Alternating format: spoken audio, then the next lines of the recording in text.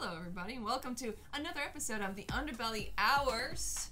Got some great guests for you today. The Bellow and the Whale are back to talk about their new EP and lots of other fun shenanigans. Spoiler alert, it's awesome. It's awesome. It's fantastic. Uh, In fact, pause this video and go listen to it. If you haven't already, then come back and watch the rest of the interview. It's amazing. It's pretty great. They're, I think I said it, introducing them, they're like, obviously, top three or, or top five of like all the local people in. yeah, they're Sorry, fabulous. I have favorites. yeah, it's what we do a little bit. But they're here. amazing. They're really, really good. Uh, and let's kick this show off. I'm Adela, And I'm Dan and you're listening to the Underbelly Hours. in my basement. You can't stay a while! Like listening to new music? Want to know a band before they get popular? Tune into the Underbelly Hours, Sunday nights at 6 p.m. on WRSC 88.7 FM, and discover the best of local unsigned musicians. Don't miss out on the next big thing.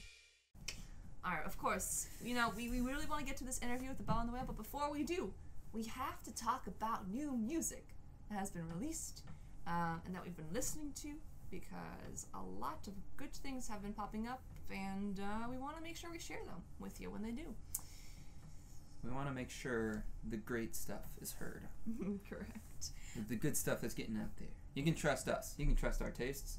We're not gonna steer you wrong and make you listen to some Norwegian deathcore band that is trying to be the next whatever is popular in that realm. No, we're gonna give you the the I don't know. We're just gonna give you good tunes. just gonna give you good Um, tunes. starting off this week of new releases is I'm, I'm gonna start us off. You're gonna start. Go yeah, ahead. yeah, Oh, go yeah. ahead. But I think you know who I'm gonna. I think I know who you're gonna do it. Yep. Yeah. Uh, Can you guess? Ryan Herrick. Yeah, of course. Who, else? Ryan Herrick, my man, put out his uh, new instrumental EP, of C, and it is so pleasant. It's a great one. It's Great one. it's so serene and uh, tranquil and peaceful and makes you just feel yeah at peace it makes you feel zen it, ma- it mm-hmm. it clears out all the negativity and all the bats in the cave and all the And the mold yeah. that's going on it's in your lungs. in your lungs from all the I don't know insert whatever the world is right now here whatever abysmal yes. fate is Uh, I think it's very also true to Ryan's like meditative almost nature. I mean, he does a lot of those meditation sessions in the morning, or he used to do live streams he- of. He, he still just does he them. did one just the other He day did one just the other day. that's where all these tunes kind of were Mm-hmm. conceived in those uh, meditative Friday jams Mm-hmm. That's cool. It's very, very peaceful. Like you said, it's a really good antidote to things that are happening right now. yeah because the world kind of still not looking too great Yeah. it's getting better They're there's light. I can see the light. a little bit. Somebody's Winter's almost over. Um, I feel like not everyone is so hateful towards each other. There's still obviously like me, me, Lunatics. me, me, me, me. Yeah. But I mean, I feel like it's cooling down a bit. There's Mm-hmm. people are realizing, hey, We Things- need to come together. right now- now. Over, Over me. COVID. Yeah, oh, yeah. I don't know. Anyway, continue. No, that's all. I'm, That's all you had to say. I'm gonna let the music do the talking. All right. Which song in particular do you have? Uh, I don't know. I feel like we've played the singles, you know, as We've they released. yeah. even though I think um, Inside Your Dreams is still kind of my favorite, but I'm pretty sure we played that in one of the After Hours episodes. We did. Mm-hmm. At the So- second one or something like that. yeah. Um, let's go with one of the new ones that wasn't a single. Let's do One into One. Mm-hmm. I like that one. What a very zen title too. Yes. One into one. You're listening to One into One by Ryan Herrick. Gone. The Underbelly Hours in my basement. ASMR.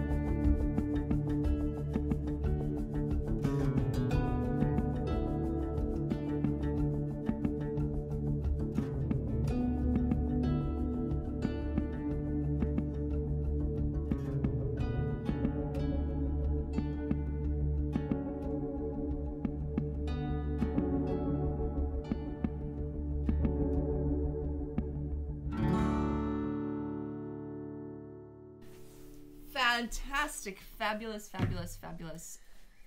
Go stream it now. Go Ryan Herrick, Mhm. of C. You can go like all of his pages. I wanna, everything.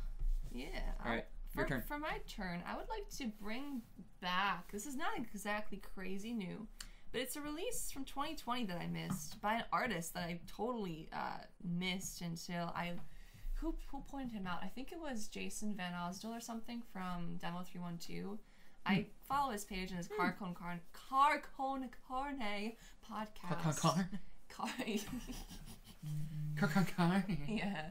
Uh, and I think he mentioned this guy for one of his when he was talking about new music, and I was like, huh, Wyatt Waddell just sounds like a fun name. I'll go check him out. And dang, am I glad that I checked Is him she out. glad? He is really freaking good. Like he's got a very soulful, like retro soulful feel to his music. It's really, really good. Um, he's got a great backing band behind him too. They're so tight. Um, it lets Wyatt kind of do whatever he wants to do with his voice, like embellishments um, over the main melody and everything like Uses that Uses his voice as an instrument, kind he of thing. does use his voice and his instrument. It shows. He's got a really quite a few good singles out. I don't think he has like a full length EP or album right now, but the one that I think would be really fitting, especially for now since Valentine's Day is coming up, is "You." Um, it's a really it's like a six minute, fifteen second long slow jam, just like a romantic kind of like from like the seventies kind of feeling, just funk but like slow and down and just like stretched out. It's so so the groove is so nice and his voice sits beautifully on top of it and it's like damn i just wanted to go on for another like tw- 10 minutes 20 minutes you know? It's a really good track. Highly recommend it. Let's take a listen right now. You're listening to you by wyatt waddell on The underbelly hours in my basement.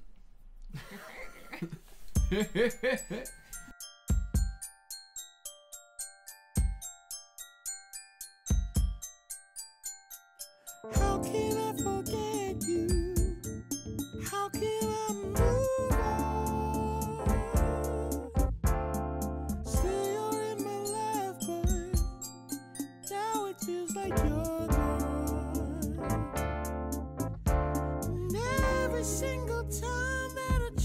forget, I see something that reminds me of you.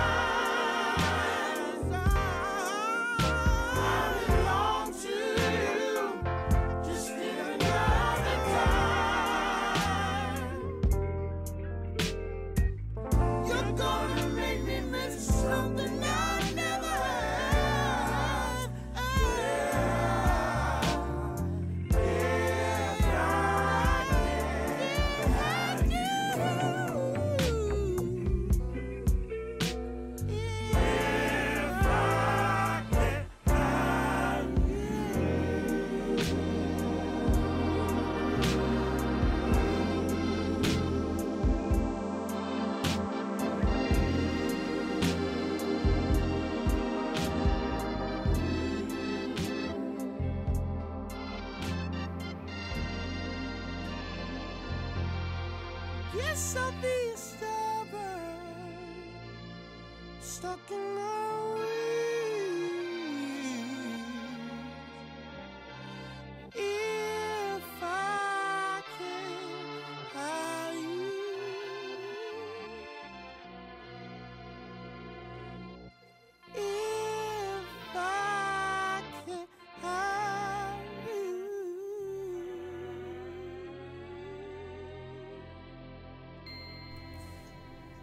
Welcome, everybody. Thanks for listening to our little new music segment. But now we have to move on to the featured event of this interview, which is a return by some artists that we both really, really love and enjoy. They have fantastic music, fantastic, just artistic, I don't know, sensibilities. They have great everything. Their visuals are beautiful, and I can gush about them all day, but I'll let them gush. Seriously, yeah. I'll let Definitely Them, in like the top five, yeah. top three, maybe. Definitely. Yeah. We'll let them gush for themselves, though. Welcoming to the show, the Bellow and the Whale. How are you guys today? Hello. Hi. Thank you for having us. We're fabulous over here. Yeah, we're having a great day. How about you? Pretty good. It's pretty cold. a Um, tad bit chilly. it could be a little less cold. As you can tell, I'm still I'm like half wearing my my, my jacket because it's not quite that warm to take it all the way off yet. Yeah, we're, Um, we're in a basement Yeah. that doesn't really have Wow. any heat. It so- lends for a cool, romantic, chic look. Exactly. Ooh, chic. Thank you. chic. Ooh. Well, that's really appreciated. I Um, love the word chic. isn't that a fun word? Chic. It's got a nice little. I, I sucked at, at using her though in, in Smash Bros. Sheik. I was, uh, yeah. Oh. Me too, and I always played her because I thought Yeah. I was going to be able to get back up on the platform, but I couldn't transform. Yeah. it- yeah, it took me forever to also realize that like how to transform into Sheik while She's playing Zelda. yeah, no, it was. She's really speedy. Yeah. Which is really fun. But anyway, any hoodles. We'll talk um, about that on our Smash Bros podcast. That's right. Uh, the underbelly Smash Bros. I don't know. The. Underbelly Smash Hours. Smash Hours. In any case, yeah. So uh, let's get back to the topic on here, which is the bellow and the whale.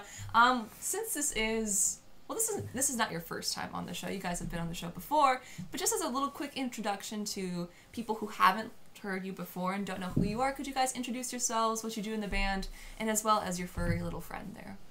Uh, well, most importantly, this is Bijou over here. Um, she's she's great. She's very loud most of the time. That's why I'm holding her. Um, and I'm Bianca. I sing and write music and take photos and video and stuff like that. And I'm Julia, and I'm also an illustrator as well as also singing and playing the guitar for the Bellow and the Whale. And together we make what we call folk, soul, pop music. Neo folk soul. I don't know. Mm-hmm. we do a bit of genre hopping, but that, that's kind of home base for us. Um, Yeah, Yeah. Julia also plays violin and mandolin and piano and a bunch of other things that I, I wish I could play. nice. Awesome. I try. Very, very cool. Um, well, like we said, this isn't your first rodeo here on the Underbelly Hours. So if you guys want to go back and listen to their full backstory and everything, feel free to check out the previous podcasts that we've had with the Bellow and the Whale. But for now, Was that We're a- gonna- about a year ago? think Or over a year ago now? it's over a year ago now. Oh. Yeah, Because 2020 was last year, bro. I don't. Let's not talk about that. that didn't that didn't happen. Yeah. Yeah. We're Well, a highlight of 2020 was talking to you. We were sitting at the desk in my old studio in Chicago. Oh, I guess it It was. It this was year. Yeah. 2020. Okay, okay. Was it? Yeah, it Yeah. was definitely pandemic time because otherwise I think we would have been with you. That's Yeah. true. Um, does make sense. Yes. Wow. Well, in either case. Back in the Zoom days. in the Zoom days. if you wish to watch the Zoom interview, you could do so. Um, but we're gonna just jump in with a little bit of a game here that I Yeah. don't really know if you guys have played with us before. I don't think so. So uh, I think we did synthesis last time. we did so synthesis.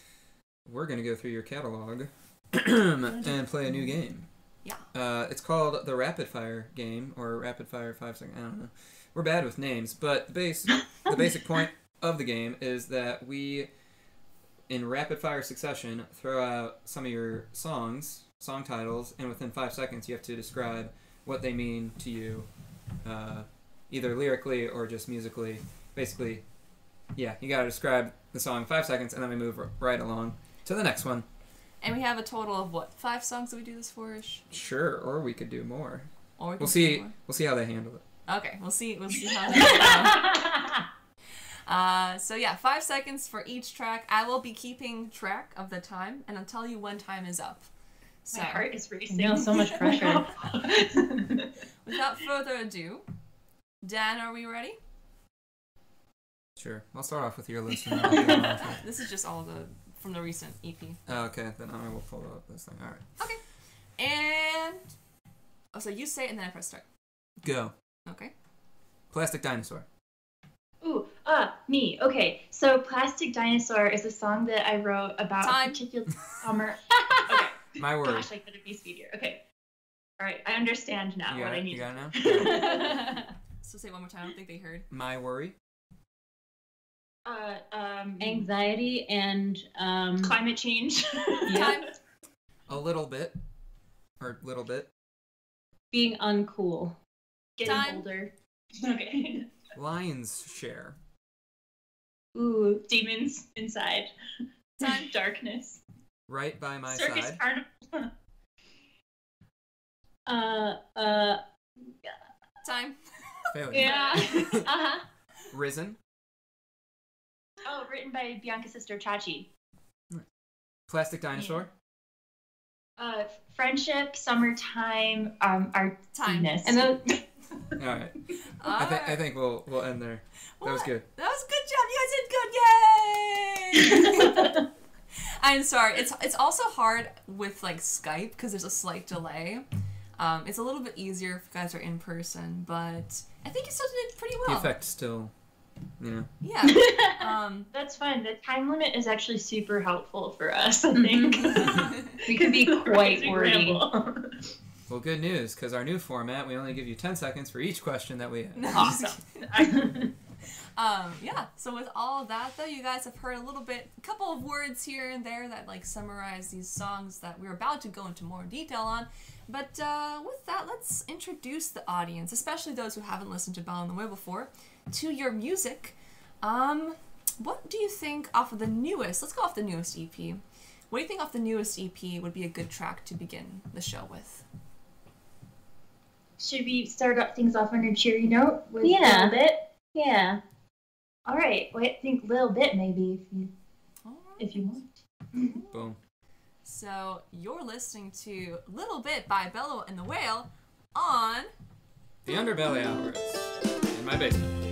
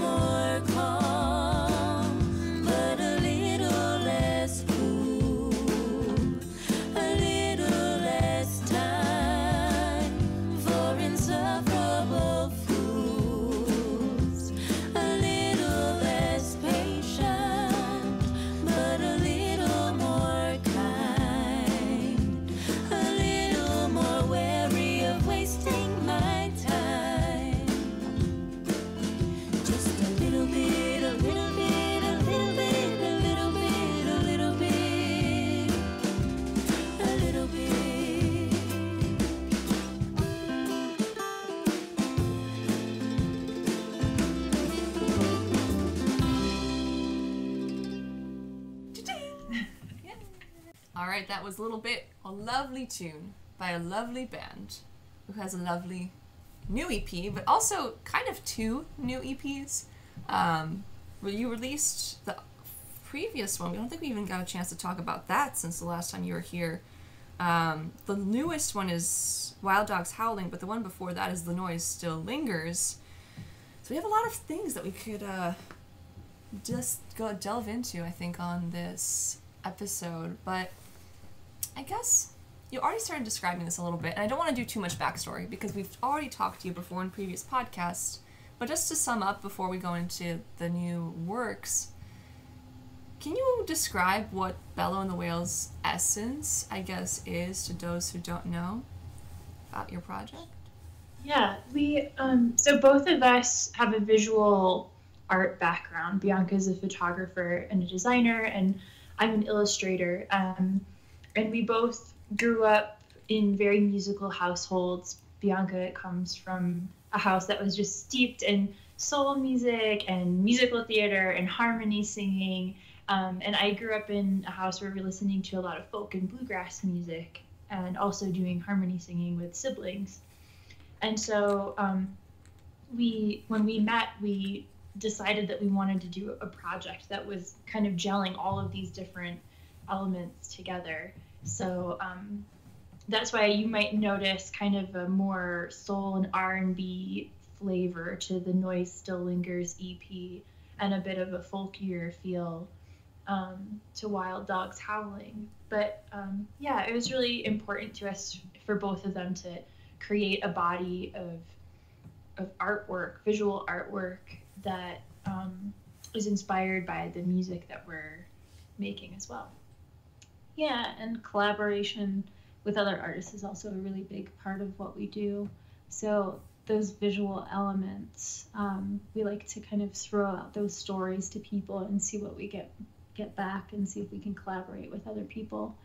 So the noise still lingers. We collaborated with um, a bunch of uh, video uh, artists um, and dancers, and uh, this one we collaborated with our good friend Sarah Anderson uh, on a bunch of visual stuff. Yeah, she she took all of the photographs that we're release, releasing along with Wild Dogs Howling, and actually the guys that did um, a music video for the previous release are Chicago people. They're Andrew uh, Andrew Palmer um, and Jordan Stillander, and Mickey Parks is a dancer from Chicago and contortionist. She's amazing. That's cool. um, yes, so, um, those were just some examples of people that we're trying to collaborate with visually visually. Yes.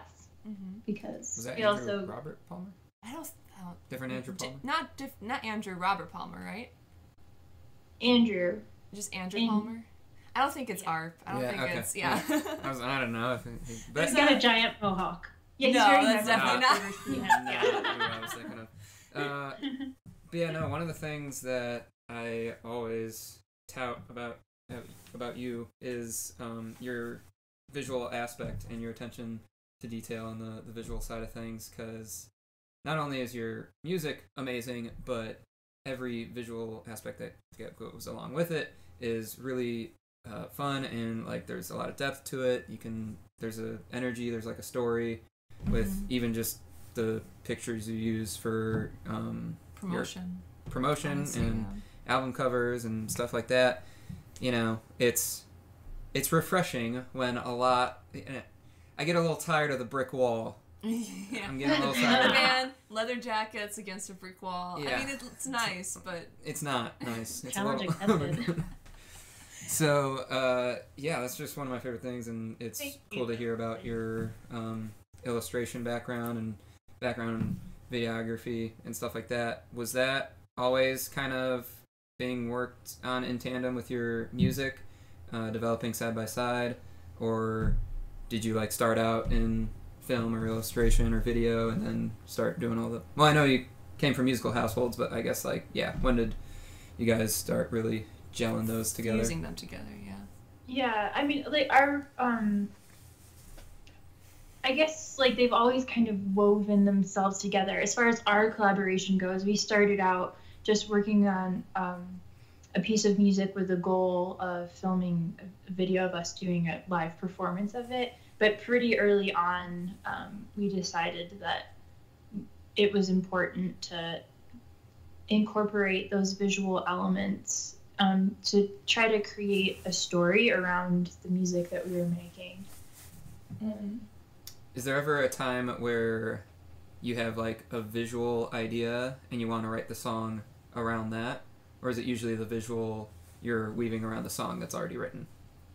Um, for for me, very often, songs will start from either um, like a visual image that I come across in life, or words and phrases that I come across. Um, so usually, there might be a little seed of a, an image that I want to include in a song, which will then grow into the the artwork that accompanies a song but sometimes you know as you're you're writing a song the words will create a new picture or Hmm. somebody else will see something in that that that sends you in another direction for the uh, for illustration purposes Yeah, I think for me it's kind of the opposite. The music comes first, and then I'll sit with it for a while, and and the visuals will come afterwards. Mm-hmm.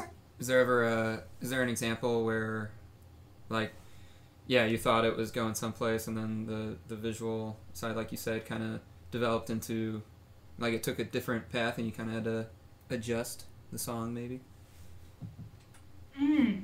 Uh, I don't know if um, usually the artwork is kind of like coming about either while we're re- recording or or even after the song has always been rec- already been recorded. So I'm not sure if it's ever kind of worked the opposite way where the visual stuff has um, influenced the way that uh, recording goes. Mhm. Um, but certainly uh, external things have affected the visual direction that we've gone in. Like for Right by My Side, um, when we were working on the music video for that um, with Jordan and Andy, we started thinking about. Um, they brought they brought to us a bunch of imagery that had like springtime images juxtaposed with kind of like death and dirty cityscapes. So we started thinking about um, the myth of Persephone, the Homeric hymn to Demeter, in the context of that music video, which ended up totally inspiring the album artwork for The Noise Still Lingers. Hmm. Um, so yeah, that was kind of like a curious path that totally happened because we were working with those guys. Very cool. Right. And it's cool to see too, just from a going on like your Instagram standpoint, um, where the shifts happen in image for or concept for a certain EP into next EP. Like, you know, I didn't necessarily realize how much soul influence was in The Noise Still Lingers, like on the first listen. But then you look at the visuals and everything's like totally reinforcing that, yeah, okay, this is like a slightly different, more aesthetic. Then you see a change completely into um, the next one, which is Wild Dogs Howling. And I think that's super, super cool because not only is it interesting from just like a single photo's perspective, but I feel like it's a good strategy too to just draw in a new audience, especially on such a, you know, photo heavy space that we have right now with social media where everything is so influenced by visuals. Um, I think more musicians could really use a little bit of thinking about, you know, us, me included, I don't know, um, how to grab the attention span of those audiences from a different perspective. Um, and I want to kind of dive into, if you don't mind, the different ideas you guys have had for Noise Still Lingers and Wild Dogs Howling because they are very different. Um, how does the visual element of Wild Dogs Howling?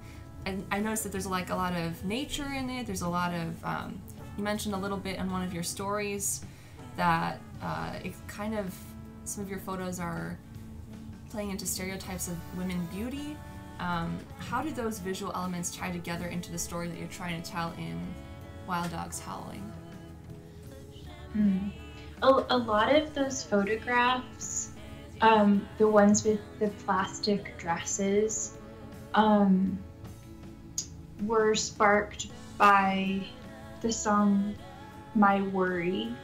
Um, kind of, I think all of the ones that we did with the, the plastic dresses, and if there's a few upcoming ones where we're wearing these kind of like tinfoil looking outfits, those came from that song because um, the song is about I, I started that song thinking about my own personal experience with anxiety and then when i brought it to bianca she's like what if we um, in the you know subsequent verses kind of zoom out and think about what our collective societal anxieties might be? And so we were thinking about climate change and pollution when we were writing that song.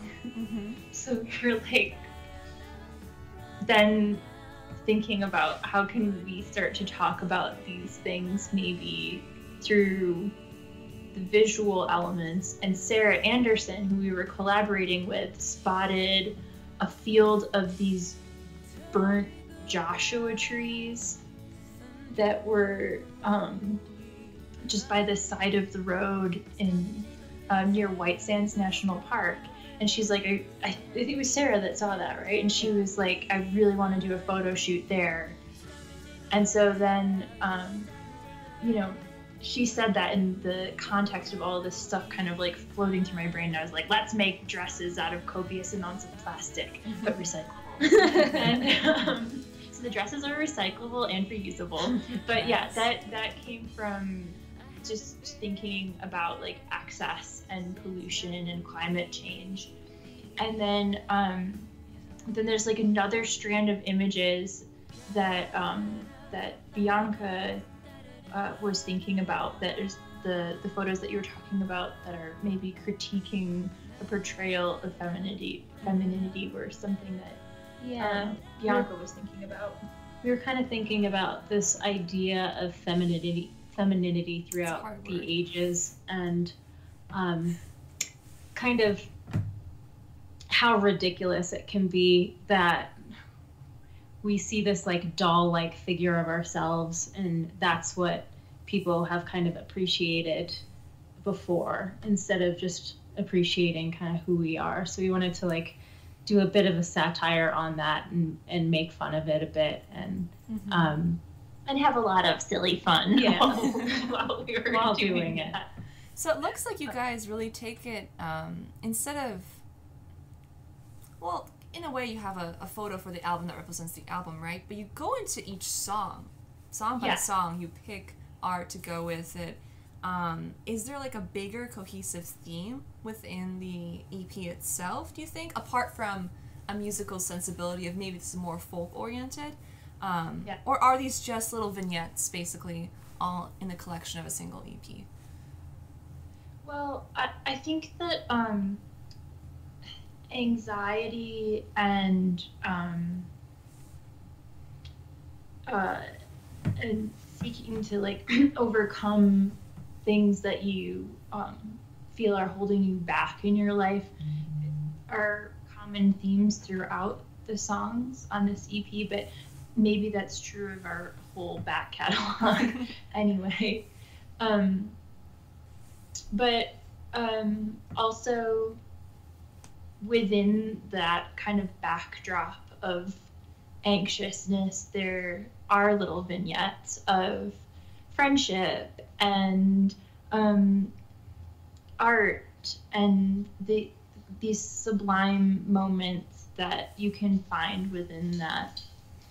Um, yeah, Yeah. kind of this idea of being okay with this is also a theme that that runs through all of our music being okay with where you are and being okay with what the past was and how it has helped to shape you but not allowing it to define who you are um, so i think that that theme and that storyline kind of runs through this as well as um, all of our other work For sure. Nice. Yeah. Do you wanna spin a tune? I was just gonna yeah, say we should spin a read your tune. mind. There we, should go. Spin another tune. Let's spin another tune. And uh, since we mentioned, you guys mentioned rather, that the album EP cover itself was inspired by My Worry, would you like to maybe play My Worry next? Sounds yeah, great. I think we should play that, especially because Adela is playing that really amazing hook that you'll hear uh, Yes. on the song. You're on everything, aren't you? Deep strings. so you're listening to My Worry by Bellow and the Whale on The underbelly hours in my basement.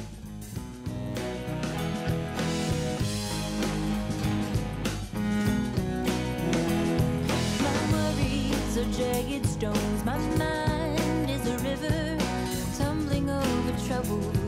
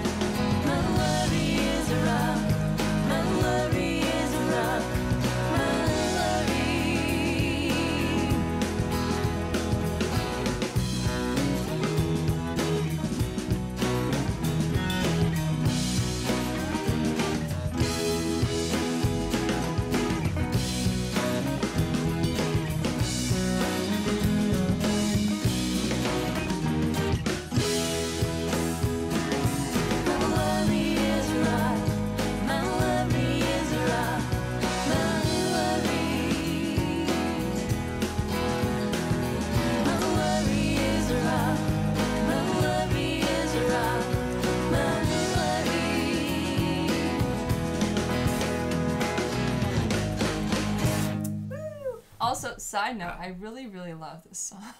And not just because the cello was fun to play, like it's just such a good song. Your song. ego is showing. Dude, no, I'm just No, but it No, should show. that I know, I know. Like that's what everybody, I just- like everything we submitted to, all of our friends were like that cello though. No! That cello, Oh, though. Nice. Seriously, And every time we hear it, it's into just my like this cult. huge smile on our faces because it's such a good hook. Thank you. It is amazing. It's, it, it, and it stuck out when I was listening to it too. Oh I was oh, like, my goodness. I am We're 100%. making her blush. Yeah, I'm 100% sure that that's Adela. I don't even know, mm-hmm. but I just know.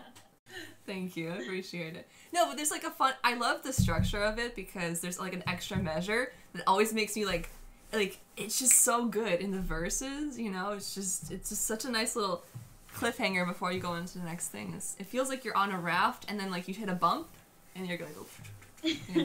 so, anyways, um, let's stick a little bit more to the visual element because I'm just curious. I know that we've talked about your musical inspirations a little bit before. What about visual inspirations? Do you guys have any like artists or um, photographers that you guys really look up to when you're sitting down to create another project or something like along those lines? Yeah, I mean, so uh, most of my um, illustrations are made with cut paper, and sometimes that I paint into them. So a huge influence of mine is Kara Walker, um, who uh, she has like a level of specificity to her art practice that um, that maybe mine is a bit more general because I use it in a much more commercial way than she does. But that technique of creating these silhouetted characters that you can kind of project your own meaning onto, um, and that link into this idea of uh, fairy tale. They feel very much related to like Lotte Reiniger's um, uh, animations. I don't know if you've ever seen them, but she actually cut silhouetted figures out of very thin pieces of lead and then animated Grimm's fairy tales. Oh, cool. So, like aesthetically, um, those two artists are really important to me. As far as when I sit down to work on a new project for The Bellow and the Whale, I would say now I do a lot of research before um, I make a piece of artwork, but often it's more around the cultural context than particular artists that are working in that field, with the exception of the cover for. Um, uh, for the noise still lingers. There's an artist called Ori Toor who I think he's Israeli, I want to say, but I follow him on Instagram and the color palette and the style of digital drawing was hugely influenced by his work in particular. Yeah, I mean, I think that I'm influenced by quite a bit of the world around me, and um, kind of in my my earlier days of photographing, I was really influenced by that kind of like gritty, really like street photography style that like Jim Goldberg has.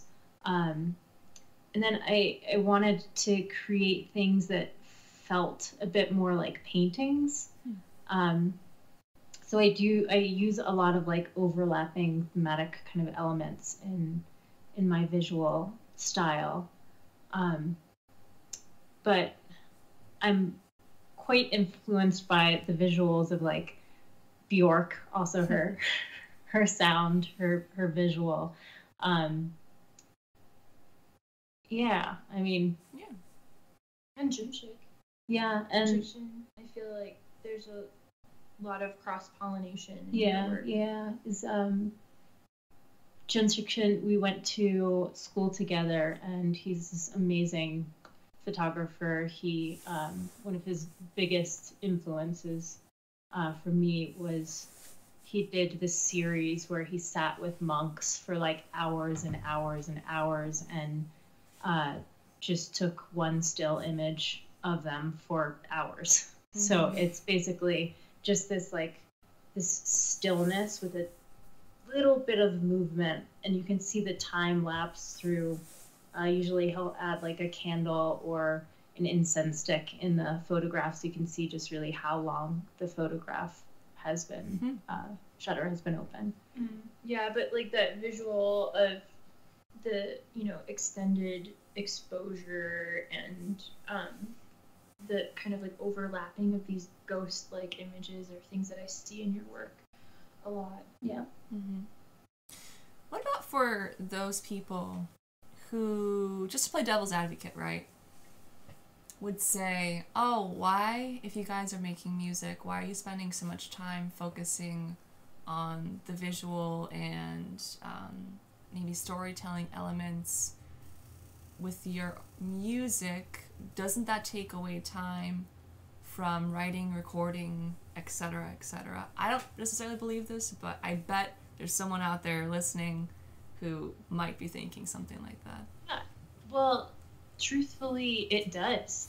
We have like chosen to divide our time in that way, and I think it's because um, we would both wither and die um, if we were to give up a, a part of our artistic practice because we we see all of these things as like different organs within the body of our art practice so to abandon one or to undernourish one of those things i think would negatively affect the overall health of Yeah. the body to continue this metaphor far longer than Yeah. is necessary I don't really believe that one exists without the other.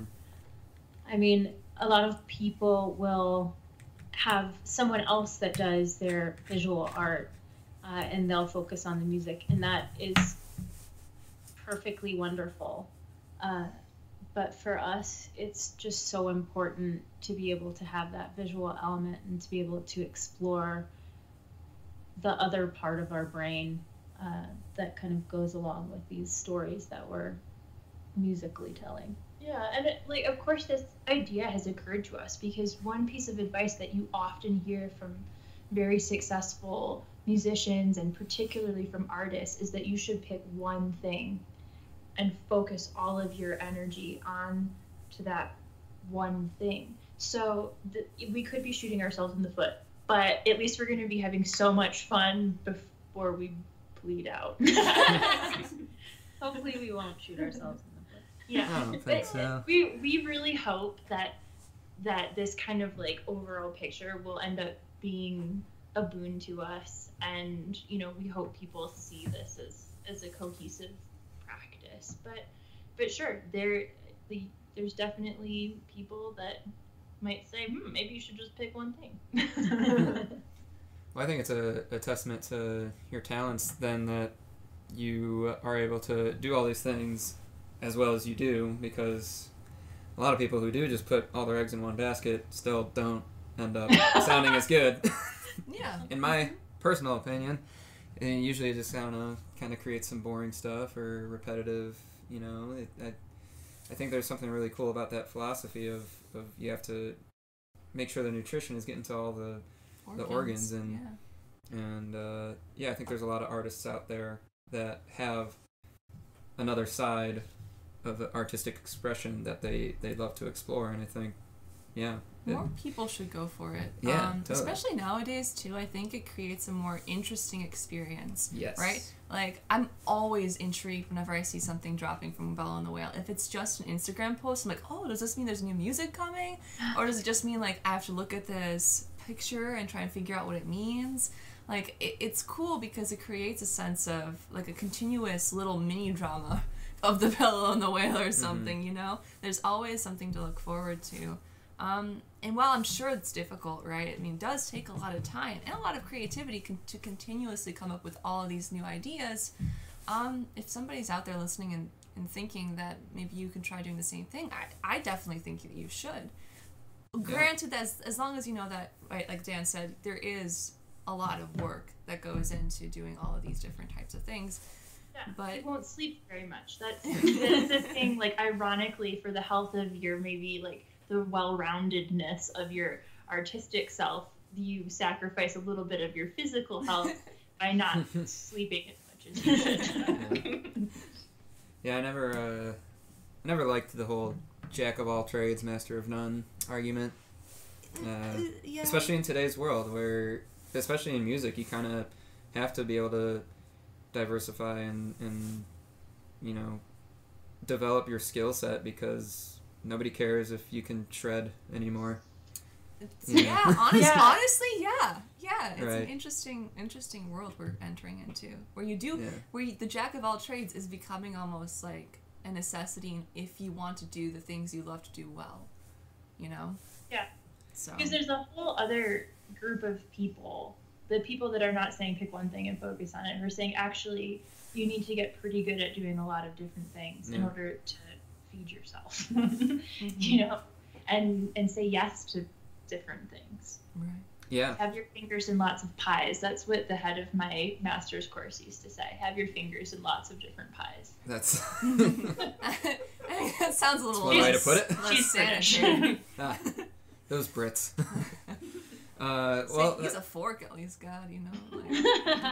Like, Um, how do you guys uh, balance your time? Do, are you are you well structured and you kind of give yourselves like an hour to work on this or an hour to work on this, or are you are you just pretty aware of how much time you're spending on one thing and it's like, all right, I'm gonna take a break from this and work on this, and or is it schedule one o'clock, hit the guitar? No, I think I think it depends on the day, honestly. Sometimes we're pretty well structured and sometimes we need a break from it all. And so we go snowboarding or go for a walk or something like that. sometimes when there's snow on the hill, that kind of determines our schedule a little bit because hmm. we're like, oh, there's good snow today. We can go snowboarding. So we have to get a bunch of work done in the morning so that we have time to go before the slopes close. So I would say like our schedule, at least over the past few weeks, has been largely determined by snowfall.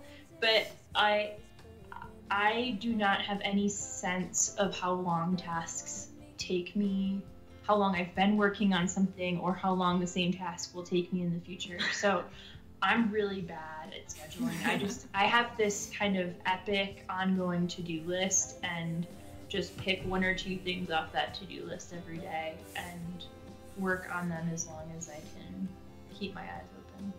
I try really hard to start out the day making a list of things that I know that I can accomplish in the day. Mm-hmm. and hopefully I will get some of them done. I need to get Yeah. back on that that list making Do to-do thing. lists? Yeah, Life saving. I did it for a couple days. Probably the most productive days I had. Yeah, no. Uh, and then I just hope. fell off because I, I suck. well, no, life gets hard, I think, sometimes. Yeah. Yeah. Uh, you know, It's overwhelming. I'm like a crazy list maker, more than I am like a scheduler of things. And I think the key to list making is to break the tasks down into the microest, like the tiniest possible unit of a step that you can. hmm So, like, if you have to do like this big task, you need to break it down as far as you can, even if that means like email this person this morning rather than like try to create a bunch of contacts. Yeah. Like, email one person. That's step one. Right, right. Yeah, totally. No, that's very similar to. Well, one, I, I hear a lot of successful people kind of give that advice of make a list, you know, start of the day or the night before, and make sure you at least get like so many things off the list. Mm-hmm. And one person that recently I heard that from is. all right, all right, all right. Matthew McConaughey himself. Are you, oh, are you listening to the book? Yeah, yeah. I got his book and everything. Nice. There you go. There are He's- people in there are people in this household that are also listening to Yeah. that right now. It's Yeah. great. It's- I hear little bits of it. Yeah. It's wonderful.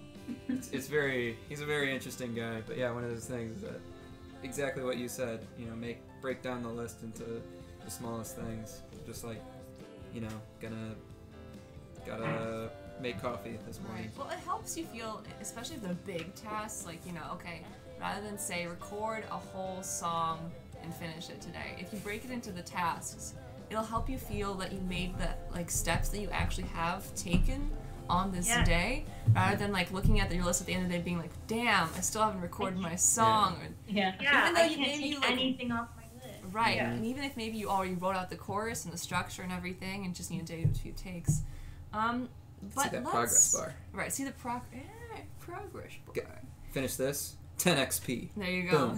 Almost ready to level up. Um, let's throw in another song though, because we've been chatting again a lot, and um, I want to throw in one from the Noise Still Lingers just to juxtapose the feeling of the two of your newest EPs, right? So, off of the Noise Still Lingers, what do you think is? Your computer really wants to hook up to Wi-Fi. It's stupid. I'm just gonna turn it off. Um, It's like eight pop-ups. I know it's, it's annoying. Um, Noise still lingers. Which one do you think is the most dynamic or not yeah just like different sounding um, comparative to wild dogs howling which track might be the most different sounding I think probably something like Stand In would be pretty pretty different from kind of that like folk bluegrass feel that you get mm-hmm. uh, on on Wild Dogs Howling. Cool and actually right before we played that can i ask why with the idea of wild dogs howling being more folk why did you decide to include my grave on the noise still lingers yeah i'm just yeah i'm just curious mm-hmm.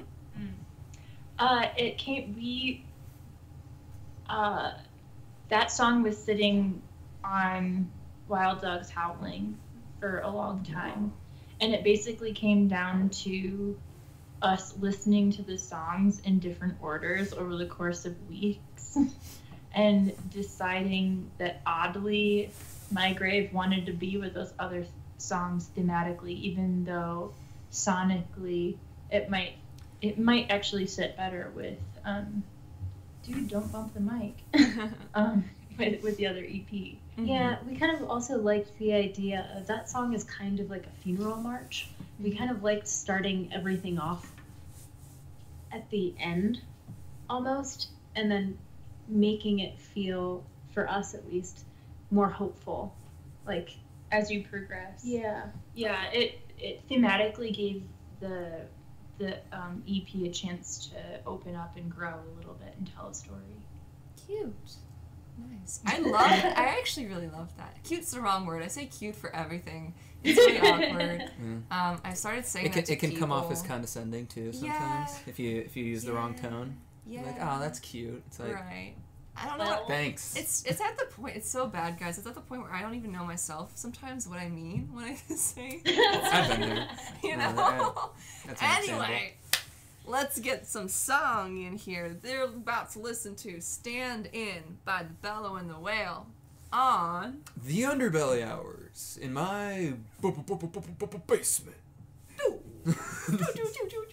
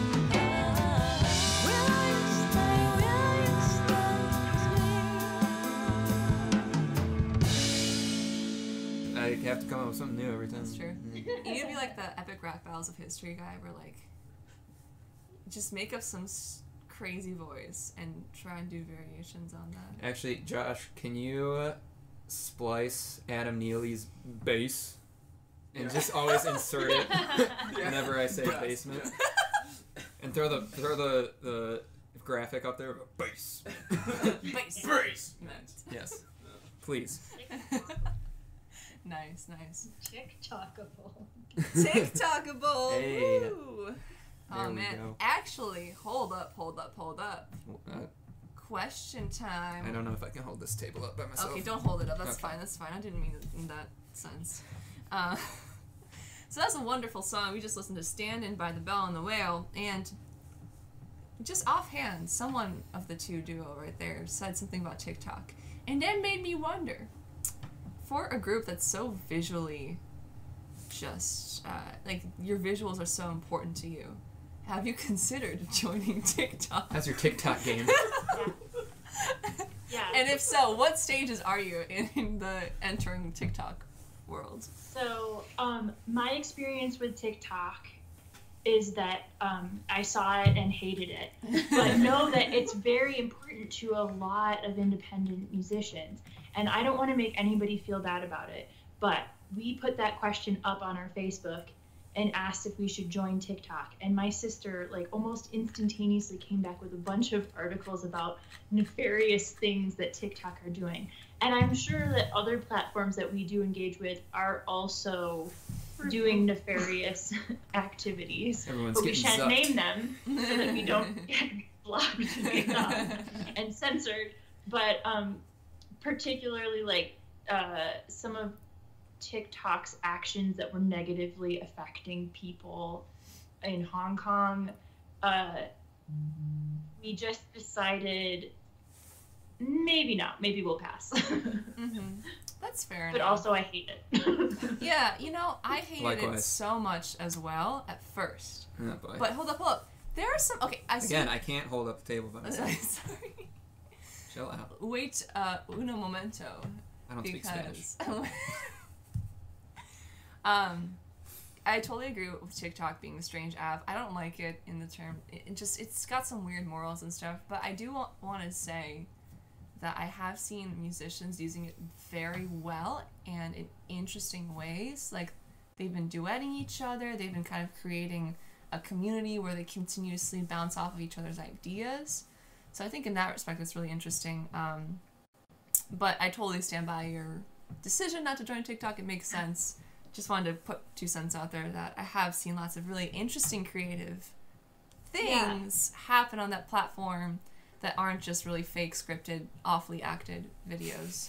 Exactly. Yeah. That that is true, and and many indie bands that we know have uh, know of have used it in a way that, um, or actually like just made their songs available on it, and others have used them in a way that's opened up whole new audiences to them. So I I think it's done really great stuff for bands like Mother Mother. I know specifically um, like suddenly started getting millions of new streams because of a bunch of like Gen Zers on TikTok using their songs, and that that's so awesome. Like if if that you know opens up more avenues for them, then that's great.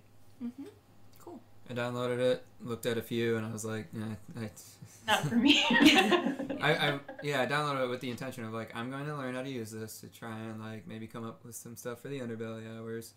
And I was like, this weekend I'm just gonna go through a bunch and see what's like trending and What's stuff. poppin'? N- couldn't, d- couldn't do it. I, I also feel like you have to have a certain personality type. I honestly don't think we would be good for TikTok. I don't know what we can do. it's a very particular sense of humor, isn't it? Yeah. And Yeah. like when I saw that, I was like, I don't understand kids. Yeah, I I'm old now because I don't yeah, get it. Dude, oh, same. yeah. There was a couple. We were looking at a couple last night, Josh, where I was like, "Is this is really what aging feels like?" I'm like, I'm not getting this. I'm, and I'm only 26. Dude. I mean, dang. yeah. But there was a couple funny ones. There's There's always the diamonds and the. Yeah. But uh anyways, back to better things. Your music. Yay! Um, before we played a song, we were talking about how why you included um, My, my, grave. grave into the noise still lingers. Mhm. Why, may I ask, um, did you guys bring back Plastic Dinosaur for the latest EP? Because that was with that was released a while back, like a couple years ago. 2019. So what made that fit into this new EP? You think that you wanted to bring it back? We thought, um, even though it's not sitting right next to it, that the energy really was jiving with a little bit. Mm. And um, even though like there's definitely some like pop rock elements to that song, it definitely has that like folky swing, and we wanted to bring that energy into the middle of this EP because um, and actually Risen ended up coming out with um, a bit more of like a hopeful, upbeat feeling to the Yeah. music. Yeah, Risen is normally sung by us in a very like downbeat. Um, Yeah, down tempo, kind of melancholy way. Um, but yeah, we just wanted to inject some energy and fun into the E EP. Fair enough. It's one of my favorites. I love it. It's so I love cute. I also love the um. Is the YouTube video still up for that? Plastic dinosaur with the cute little animation. That was that was Yeah. nice. Go check it out, everyone. Go Do look it. at it. It's very cute. It's very nice. That's me trying to figure out how to draw a dinosaur for hours on the iPad. on top of my puppet hands. yeah. well, it turned out wonderfully. So go check that out. Um, I don't know. I have one kind of final question, but I'm not really. It doesn't have anything to do with what we're talking about, so we're just gonna. I'm just gonna throw it in there because. I saw your website changed a little bit recently. It's very intrigued by it. Um, it's very minimalistic. So compared to like your Instagram, right, which has a lot of different visual elements, everything's popping, very bright and colorful. Your YouTube channel is very bright and colorful, and then you go to your website and it's just like blank, and it's only like words that are typed out. It's got sections by like genre and stuff rather than um, the typical artist, bio, music tabs. So I wonder why go in that direction for your website. Um, yeah, just go explain a little bit of the thought process behind that because I thought it was really interesting. I think kind of initially we were we were playing with this idea of uh, choose your own adventure, and since a lot of our music uh, does have uh, different sound elements and does kind of fit into different genres, we thought it would be interesting for people to be able to like kind of go in and choose what type of music they like, and then hear hear that music and then be able to kind of explore from there. And there are little elements that you can kind of play around with, like on the bottom of the website, there are little kind of squares that you can spin around and um, and little kind of micro interactions that go along with things. So we thought that would be a fun fun way of doing it that would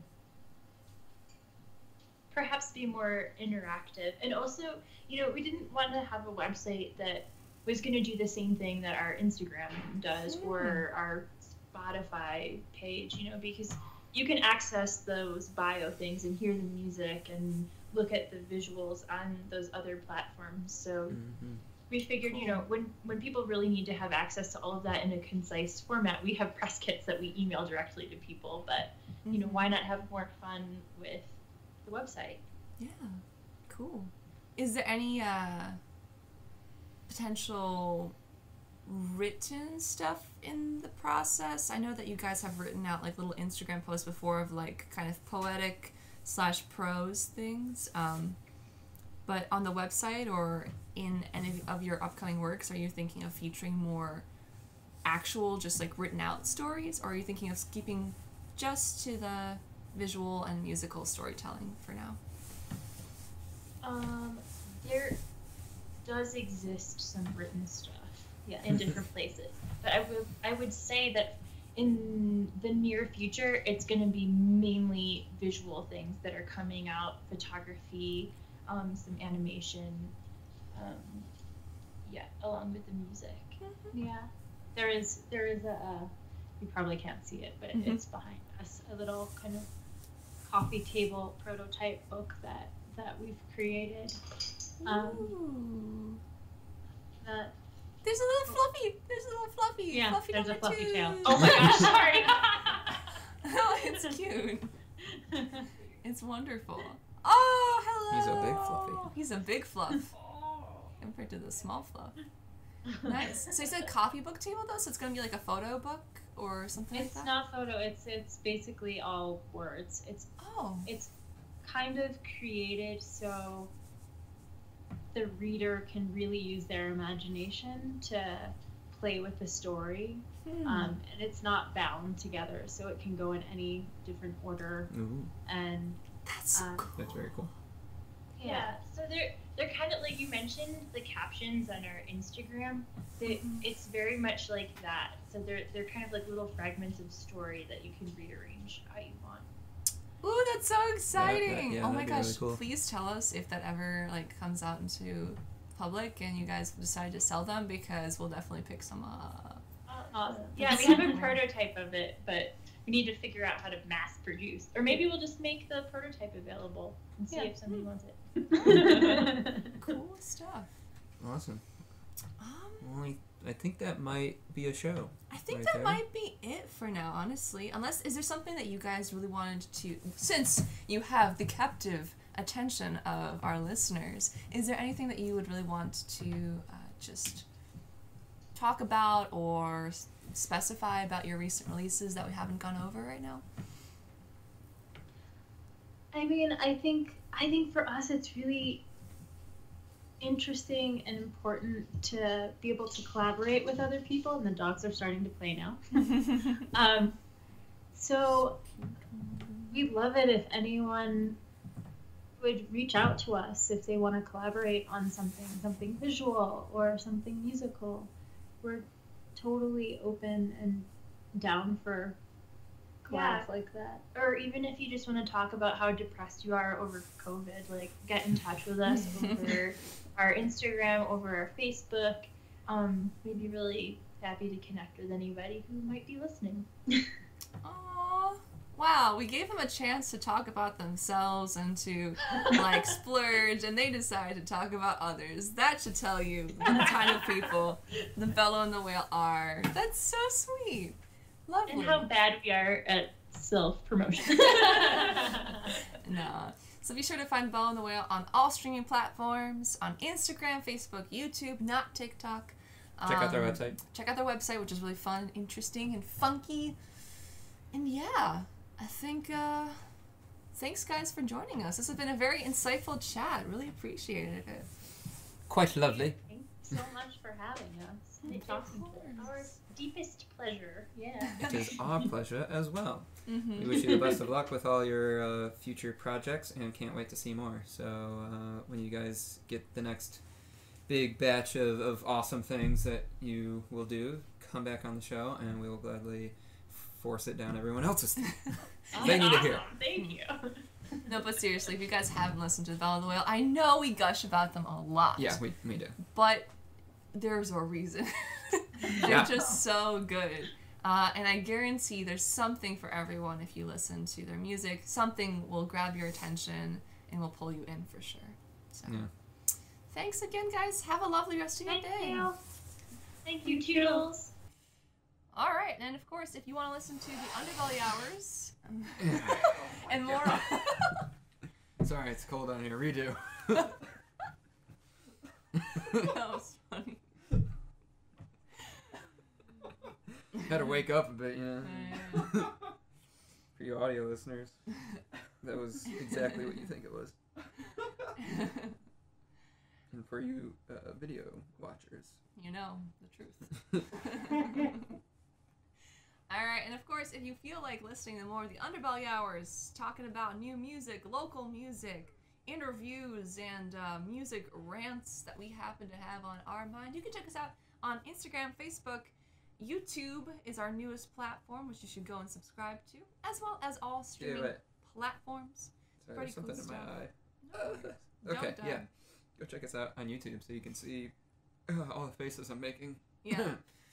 all the pain that Dan's in right now. yeah. And all my grimacing glory. Uh, but I think that's a wrap, and that's been another episode. That has been another episode of The Underbelly Hours in my. Basement. You're Dan. You're Adela. Bye. Are you tired of listening to the same bands over and over again? Over and over and over. Stop listening to what mainstream media chooses for you You filthy casual. and try something new. Tune in to the Underbelly Hours for exclusive interviews, unreleased content, and more from the depths of Chicago's underground. I'm Adela, I'm Dan. Now available on Spotify, Apple Podcasts, Google Podcasts, or anywhere you stream your podcast, thanks to Aux Audio, a Chicago based podcasting platform.